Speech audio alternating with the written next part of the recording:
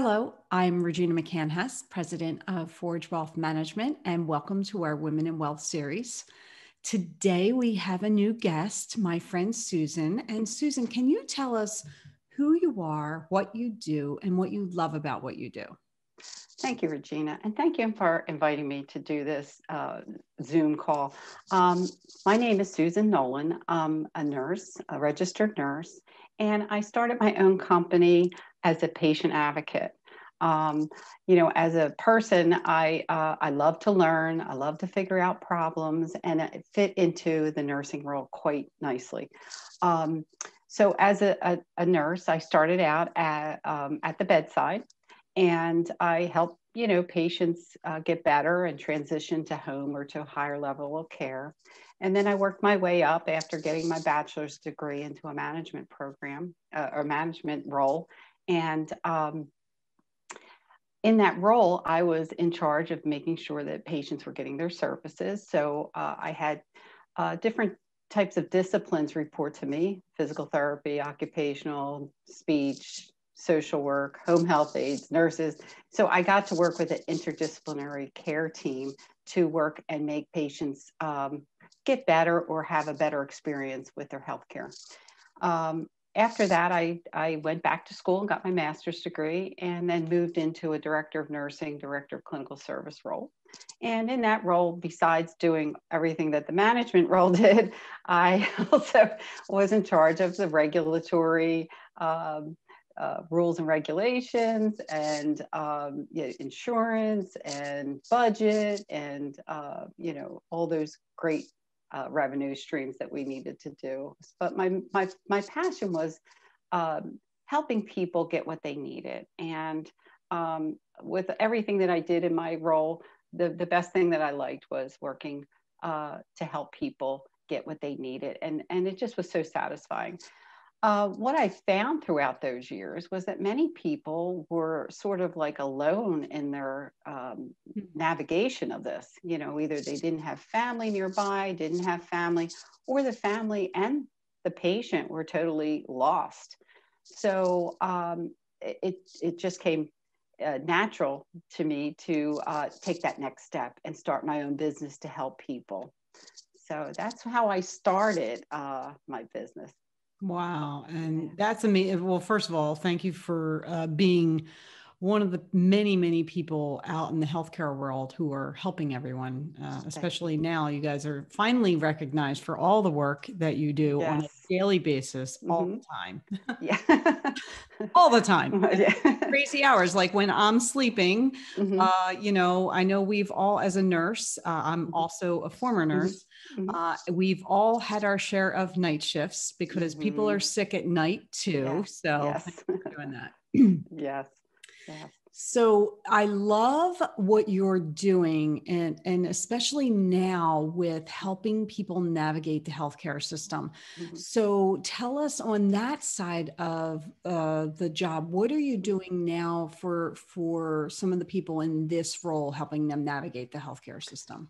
So um, some of the, the things that I, I help people with is um, say that they've just been uh, diagnosed with a, a disease and they're not, not sure what's going to happen.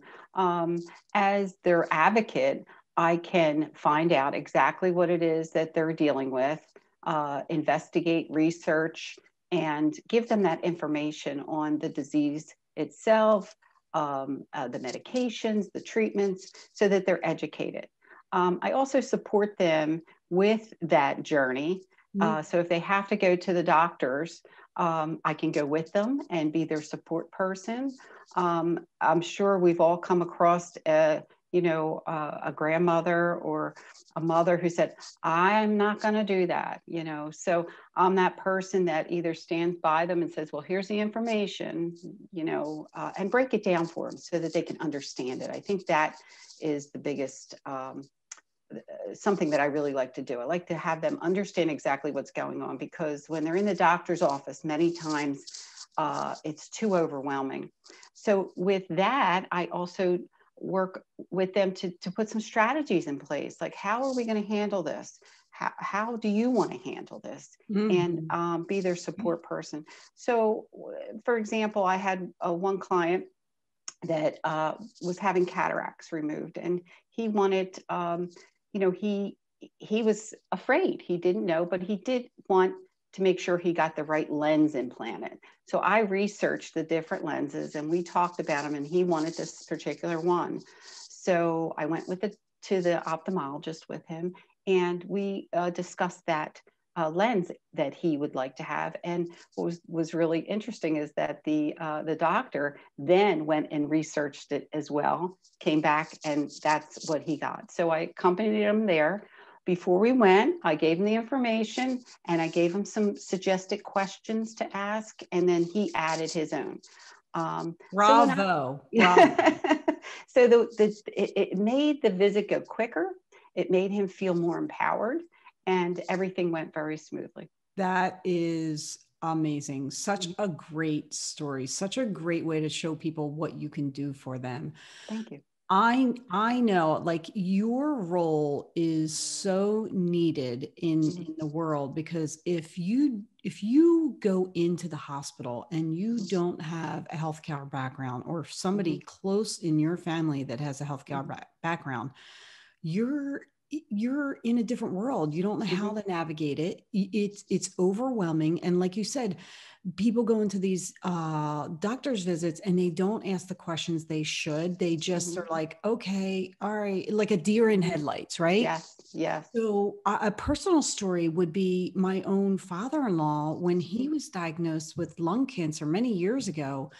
Um, you know he took he went to the first appointment and the guy was like, oh, well, you know, we're just going to do radiation and that's the end of it. And I was just like, and I had already researched what type of lung cancer he had. And I'm like, radiation, that's, you know, that the research doesn't say that. I'm like, no, no, no, mm-hmm. no, no.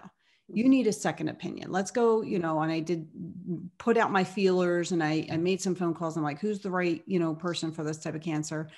And we got him to the right place. And you know, we asked, I asked questions because he just, you know, was like, he didn't know what to ask. Mm-hmm. Right. And, and then I educated him and the, the outcome was completely different.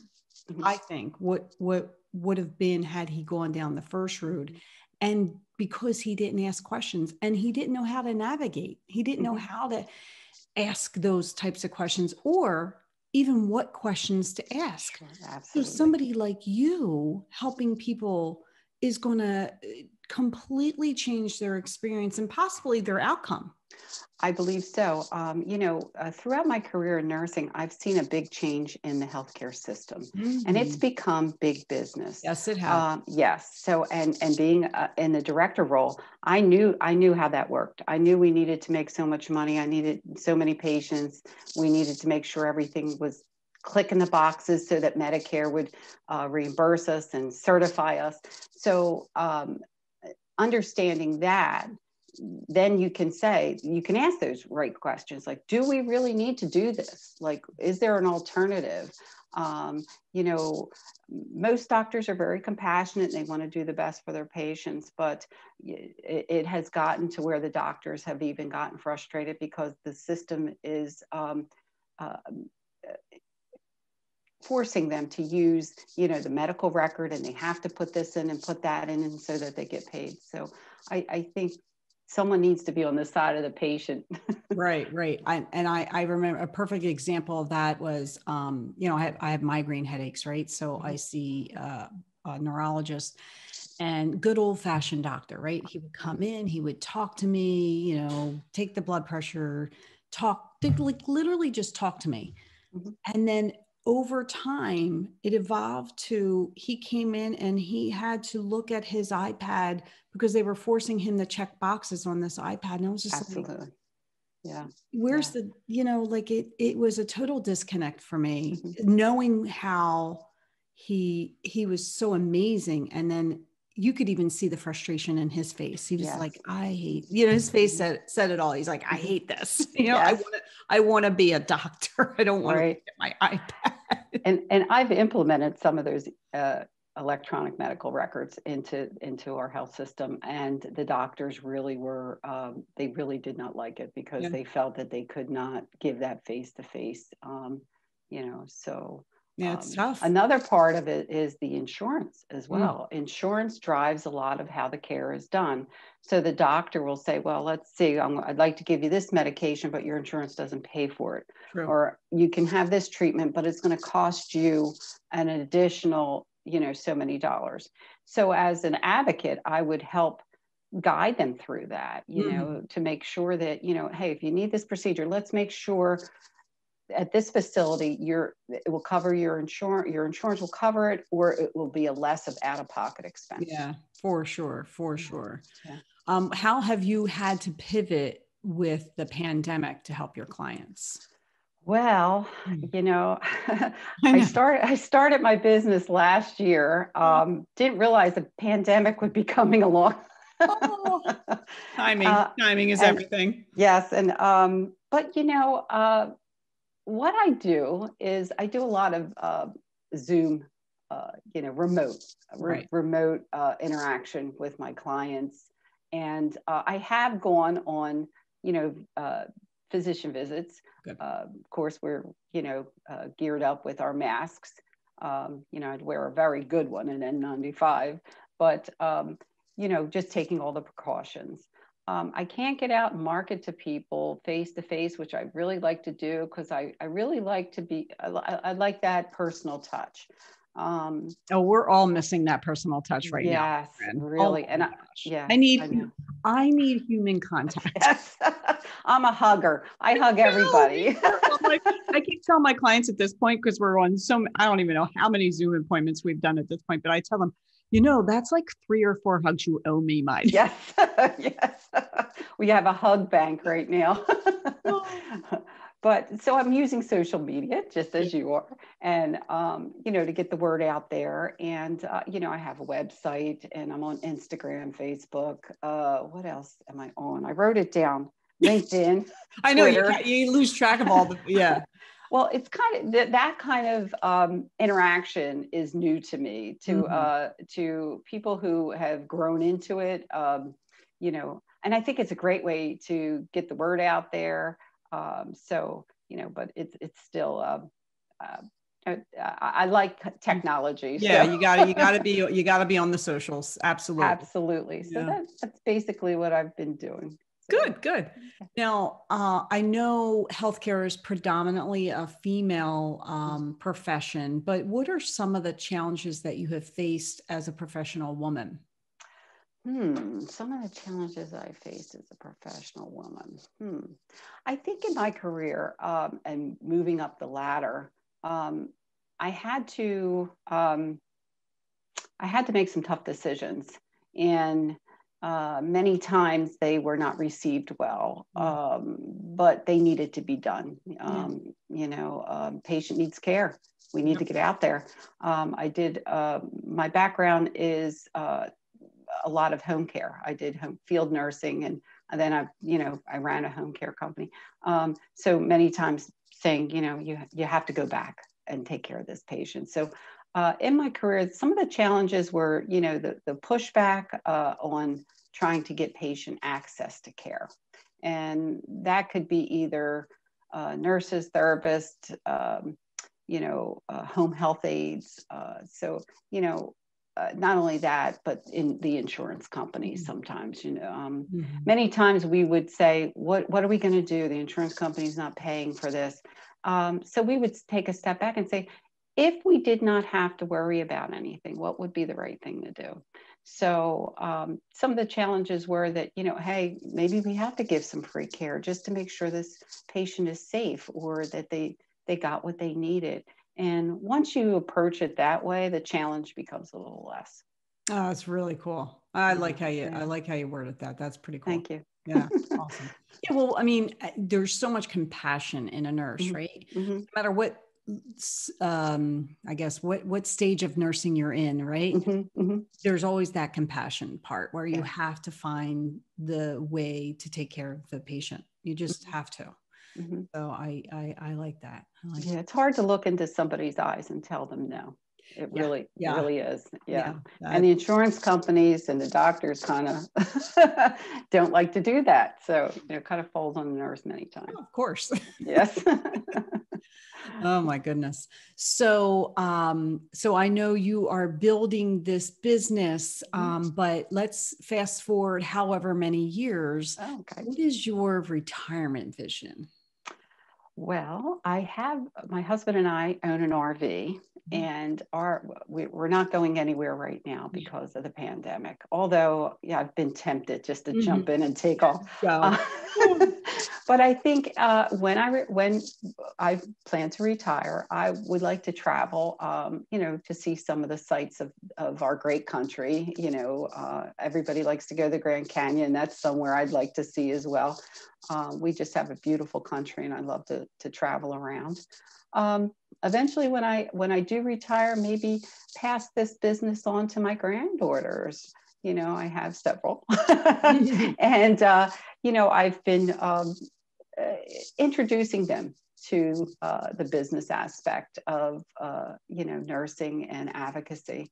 And uh, they love it. They put the stickers on the envelopes for me and things like that. So That's great. Yeah, That is great. Yeah. Hey, whatever it takes to get them in, interested and included and a sense of accomplishment, you know, that Mhm. that kind of thing.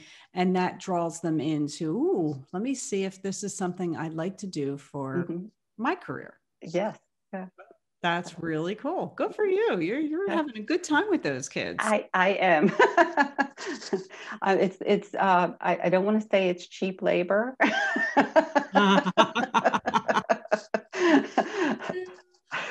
I have a little bit of that too here. My my 16 year old son helps me um, with, with the videos that we're doing right now. oh, how nice. Yeah, he helps edit them and package them and get them ready to, for compliance. So yeah, Wonderful. Yeah. Wonderful. It's good. awesome. It's good. I, I mean, I think that that's um, how, you know, when you're 14, 15 you, or 16, sometimes you just cannot find a, a, a job. So this is a great way to uh, get some experience Mm. and also put a few bucks in your pocket. yeah, yeah. He's Yeah. he's really good. He's really good. Mhm. But that's awesome. Um, so if someone was in a situation where they, you know, need help advocating an Mhm. advocate for the healthcare system or navigating the healthcare system, Mhm. how would they find you? Well, I have a website called discoverhealthadvocacy.com, all one word. Um, I'm also on LinkedIn and LinkedIn, and I wrote these down. Uh, LinkedIn is linkedin.com slash uh, discover.health. Okay. I'm also on Twitter, twitter.com discoverhealth2, um, Instagram.com discover health advocacy, and Facebook.com discover health advocacy. oh wow. um, okay. I also have the old fashioned phone number. What? What's the phone number? Tell us the phone number. It actually took 856 571 8547. I am in New Jersey. I service New Jersey, Pennsylvania, and Delaware. Awesome. Yeah, Awesome. I'm not afraid to travel. Old home care nurse, so getting in the car and, and going into a different direction is is I have no fear. Yeah, and I, that is one of the things that we are really blessed with in our area. We have a plethora of hospitals to choose from and some amazing healthcare systems. I mean, Absolutely. you know, it's like, oh, let's see, do I want to go to Mhm. Jefferson or Hospital University of Pennsylvania? Boy, that's a it is really a tough decision because Yes. they're so amazing. Like they Yes. both have so much research and so many good doctors and nurses and physical therapists and Mhm. all the ultrasound techs, everybody. It's just amazing. Versus, Yes. you know, if you're in the middle of the country, you may have to drive an hour to Mhm. find the nearest hospital. Oh, yes. It may not have the same quality that we have in our backyard. Absolutely. I mean, I know there's like five major hospitals within a 25 mile radius. Yeah. Well, I'm an alumni of Jefferson, so you know. Oh, I have a that's a great. I worked there at one time as a staff nurse. uh, it is a great place, and I have to tell you that that uh, you know our institutions have many, many great doctors that are doing wonderful research and and curing some of the diseases, or at least helping you get through it to live a decent life, you know, Yeah. and that's basically what, you know, um, as we age. And I think one of the things that I like to help people with is aging in place, you know, if they want to stay in their home. Very much so. yes, and, and, you know, understanding, you know, how their health care will help them to stay in, in their own home. And the research does show when you age in place, you have such a better outcome. You're so Mhm. much happier. You're you're actually healthier, believe it or not, even though you're aging in place. Yes. Um, and it and in and most people want to age in place. They Mhm. don't want to go to a nursing home or you know one of those one of those places. Yes. And none of none of Mhm. us really want to like the idea of going there, but sometimes you know, especially with like something like Alzheimer's, Mhm. you know when there's a safety concern you have you have to you have to maybe at some point go to go to a nursing home or somewhere where they can make sure you're safe Yes. Yes. no Yeah, wandering around people Yes.